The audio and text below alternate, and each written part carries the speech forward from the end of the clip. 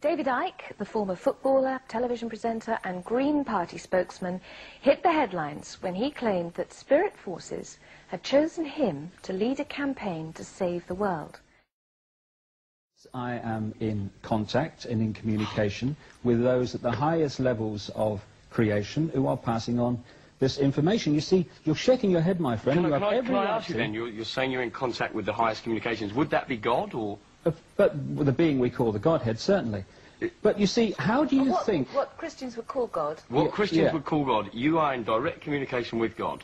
That's, what, well, that's where you get your voices from and everything else, yeah? Correct. Is that what you're saying? Right.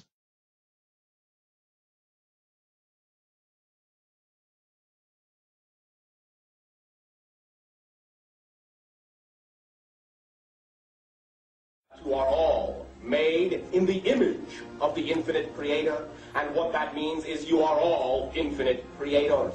We thank you.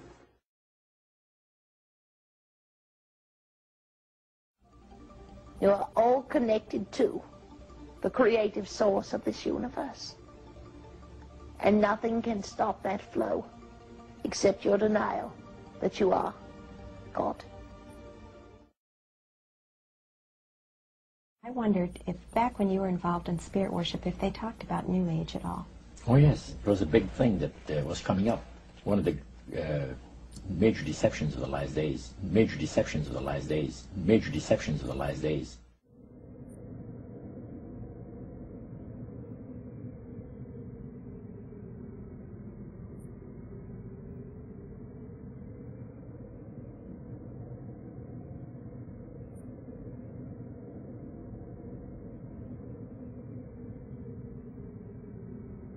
The false Messiah, Dajjal.